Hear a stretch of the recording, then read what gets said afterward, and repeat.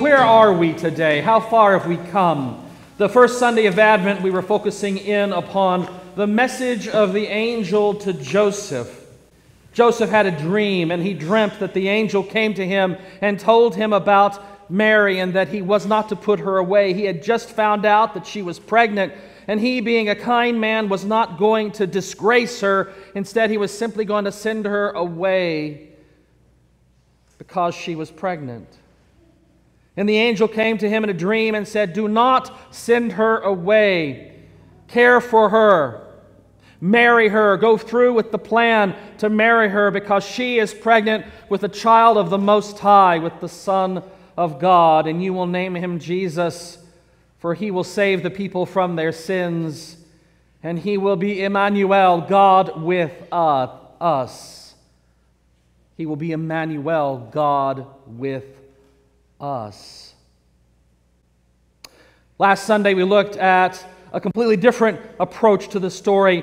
This is one from Zechariah's uh, uh, uh, appearance or, or, or, experience of the angel who meets him in the temple. Zechariah is a priest of the high order of Abijah. He is a, a senior priest in the temple. He's working, he's doing his job. He comes into Holy of Holies to make incense offering to Yahweh. And there is the angel of the Lord standing by the table. And he is shocked, he is surprised. And the angel speaks to him and gives him a fabulous message about how what he's been praying for for years, what he and Elizabeth, who's now old, and, and he is old and, and cannot conceive, she's barren, and, and yet God's going to make it possible, as it was true with Abraham and Sarah, God's going to make it possible for her to have a child. And unfortunately, unlike Joseph, who his response was immediately to wake up and do what the angel said, unfortunately, Zechariah, he questioned the angel. So with Joseph, we have this positive response yes, sir, and does it. With Zechariah, we have how can it possibly be? Oh, yeah? I'm old and she's old. How is it possible? And so what happens? Zechariah gets struck mute. He cannot speak. And the angel says, You will be mute until the day that it is fulfilled. And he is. He comes out, he makes gestures to them, but he can't speak. He goes home. Elizabeth conceives a child. And then that brings us to today. In the sixth month, which, which month? The sixth month of Elizabeth's pregnancy. In the sixth month, the angel Gabriel was sent by God to a town in Galilee called Nazareth. So here we have the story for today. Mary, a young woman, a young maiden. In the Greek, it says Parthenos, virgin. In the Hebrew references that are often cited here, the word is alma, and alma means a young maiden, just on the cusp, just on the precipice of being able to become a mother. A young maiden is selected here. And the, and the angel comes to her, to Mary, and says, Greetings, favored one. The Lord is with you. Right there, you have an amazing message. You, you, could preach a sermon on this one. Greetings, favored one. The Lord is with you. How, how much more blessed can you be to be called the, the favored one of God and that Yahweh, the creator of the universe, is with you? It's an amazing thing to be said about this young girl. After all, she is just a young girl. She's not been to seminary. She hasn't been to graduate school. She hasn't studied great under the great theologians. She's just a young maiden filled with simple yet life transforming faith in God, as we will see in a minute. Greetings, favored one. The Lord is with you. But she was perplexed, as you would be perplexed. Not to the point of disbelieving, unlike Zechariah, but perplexed. She was perplexed by his words and pondered what sort of greeting this might be. And so the angel continues Don't be afraid. Don't be afraid, afraid, Mary, for you have found favor with God. It's okay. There's nothing to be afraid of. There's nothing to fear here. You have found favor. You have found a place in the love of God. And now you will conceive in your womb and bear a son, and you will name him Jesus. Same message that was given to Joseph is given now here to her before that was given to Joseph. He will be great and he'll be called the Son of the Most High, and the Lord will give to him the throne of his ancestor David. He will reign over the house of Jacob forever, and his kingdom will have no end. What an amazing message. This is the messianic proclamation. She's going to give birth to the Messiah, the Mashiach, the anointed one of God. And here she is. She's just a handmaid. She's just a young woman, a young girl, by our definition, a young child.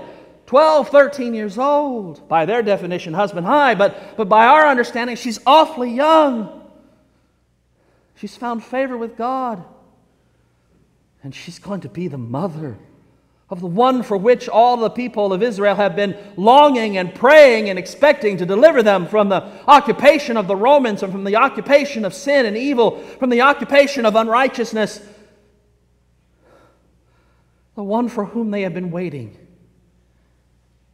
She's going to give birth to him. Mary's response is natural. But unlike Zacharias, it's not disbelieving. She's asking for information. How can this possibly be? how's this going to happen? I am only a virgin. And the angel's response is stunning. The Holy Spirit will come upon you, and the power the transforming power, the energizing power, the explosive power, the energetic power, the life changing, world changing power of the Most High will overshadow you. The same word overshadow is used later on in the Gospels for the Mount of Transfiguration experience when the, when the cloud descends over Mount Tabor and the voice of God comes from it saying, This is my Son, the beloved, listen to him. And Jesus is fluorescing like a stained glass window. That word overshadow, it says that the, the, the cloud of God, the Holy Spirit of God, overshadows Peter, James, and John there on the mountain. The same word is used. She will be overshadowed protected, shielded, defended. She will be overshadowed by the power of the Most High. And because she is overshadowed, because God's protecting love comes to overshadow her, she will be able to conceive, and the child to be born will be agios, holy. He will be called Son of God. Some of your translations may indicate this. There is no the Son of God listed. Son of God. He will be called by this title, Son of God.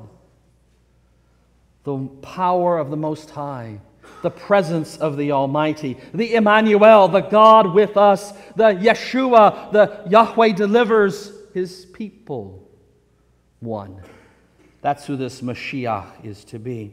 And now, your relative Elizabeth, in case you're wondering, your relative Elizabeth, in her old age, has also conceived a son, and this is the sixth month for her who was said to be barren. Just as she is too old and barren, you are too young, yet the power of the Most High is present to enable miracles. For nothing, verse 37 for nothing will be impossible with God.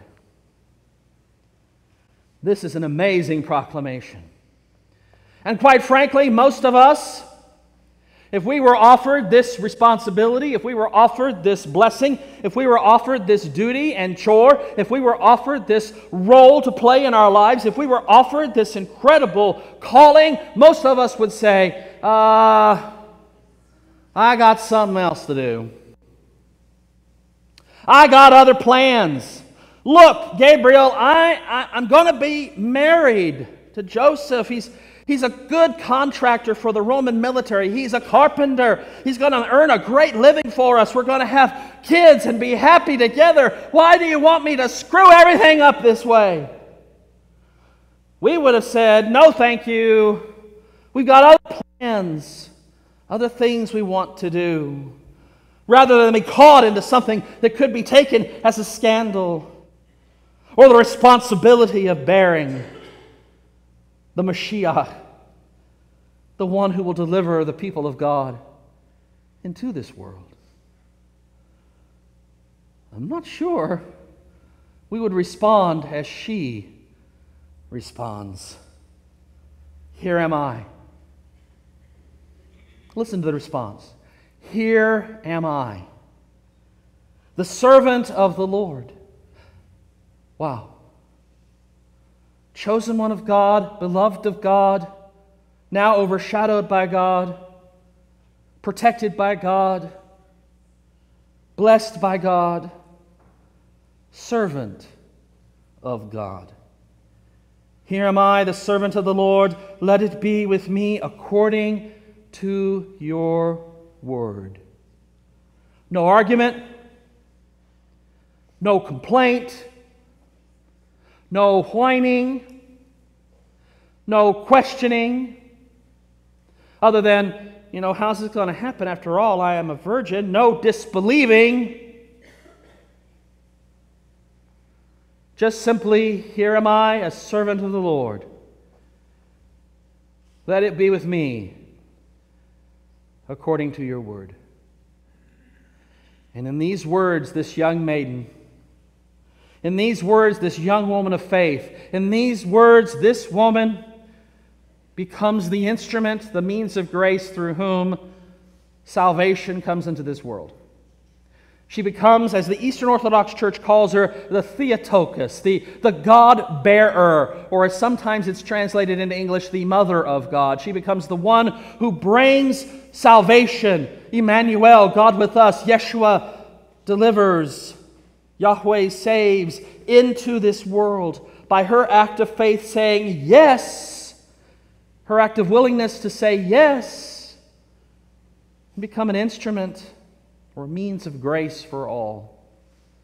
This young girl, by her response of faith, changes everything. We look for examples throughout Scripture of people to emulate, to people to be like. And what greater example can we have? There is no greater example than this a willingness to say, Here am I, the servant of the Lord. Regardless of the difficulties, regardless of the future pains that it will bring, regardless of the sorrow that it will bring, regardless of anything, here am I, a servant of the Lord. Let it be with me according to your word. This is an example for us. To hear the message of the angel and not to argue and not to complain and not to whine and not to disbelieve, uh, but to say, Here am I, a servant of the Lord. May we, as we move now towards the fourth Sunday of Advent, may we hear the proclamation of the angel. May we be like Mary and proclaim, Here am I, a servant of the Lord. May we do as God calls us and share the Christ child with all.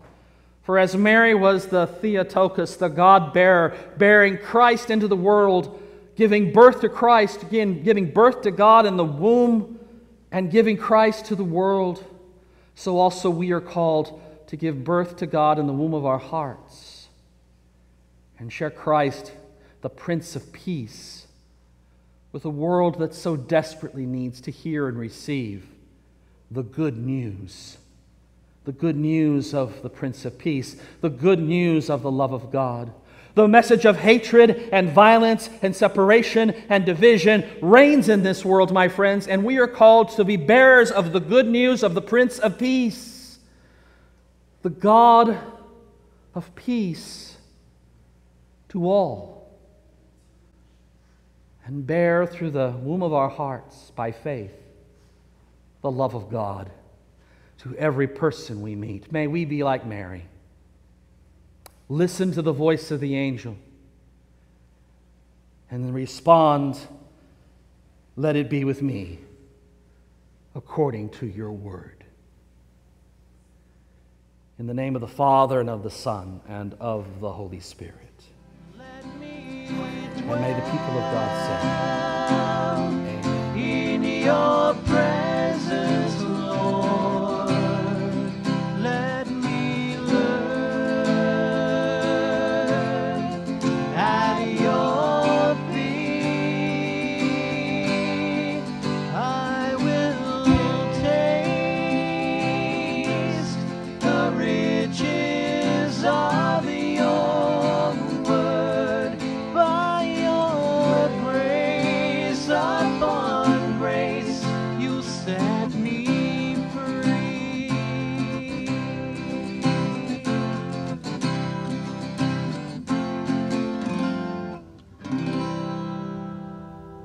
Listening to a sermon by Dr. Gregory Neal, Senior Pastor of the First United Methodist Church in Commerce, Texas, and Rector of Grace Incarnate Ministries.